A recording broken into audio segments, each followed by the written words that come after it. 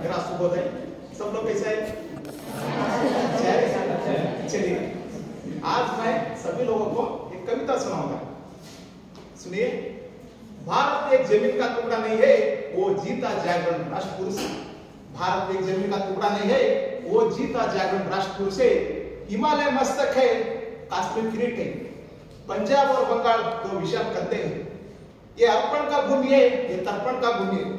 ये वंदन का धरती है अभिनंदन का धरती है हम जिएँगे तो भारत के लिए मरेंगे तो भारत के लिए।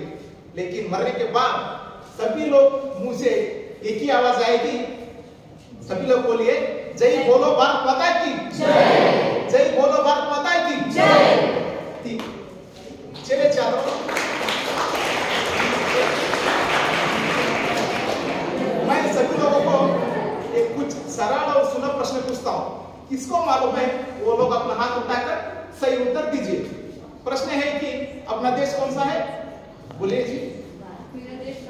अपना देश भारत। वेरी गुड चप्पल।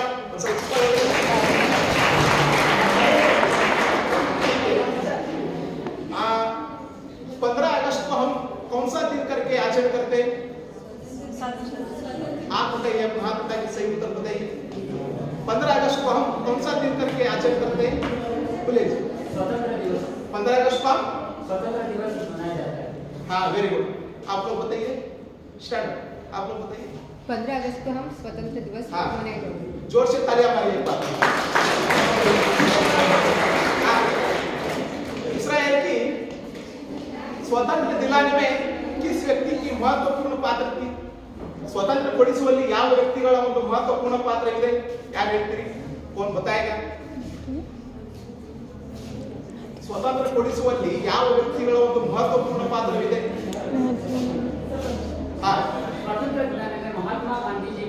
बड़ा पात्र था और दूसरा लोग कौन भगत सिंह सुभाष चंद्र बोस। जवाहरलाल नेहरू चंद्रशेखर आज़ाद।